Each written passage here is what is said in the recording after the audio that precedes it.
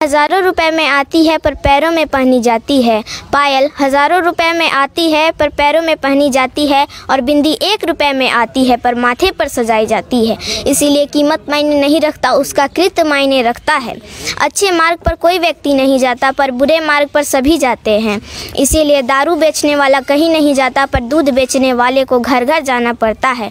और दूध वाले से बार बार पूछा जाता है कि पानी तो नहीं डाला, पर दारू में खुद मिला मिला कर पीते हैं।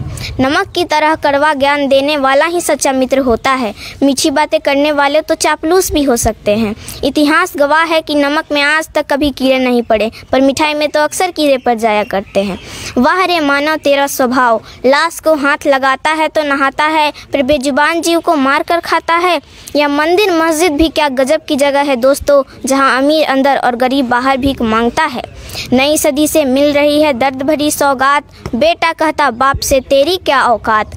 पानी आँखों का मरा मरी शर्म और लाज। कहे बहू, अब सास से घर में मेरा राज।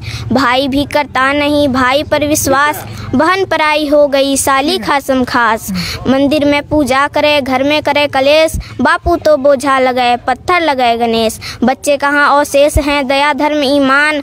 भाई के रिश्ते टूट रहे, टूटे सब अरमान। पत्थर के भगवान को लगते हैं छप्पन भोग। मर जाते हैं फुटपाथ पर भूखे प्यासे लोग। पहन मुखौटा धर्म का करते हैं दिन भर पाप। भंडारे करता फिरे घर में भूखा बाप। जय बुद्ध, जय जग, जय भारत। तो अब आप लोग क्या सोच